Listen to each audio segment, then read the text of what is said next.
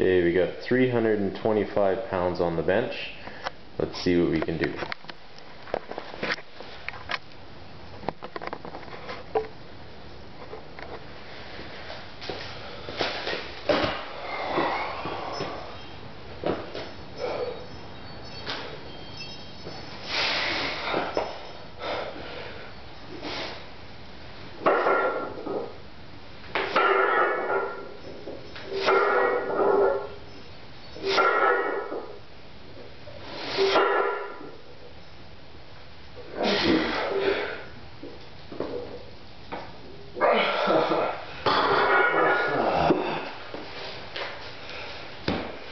let's go upstairs.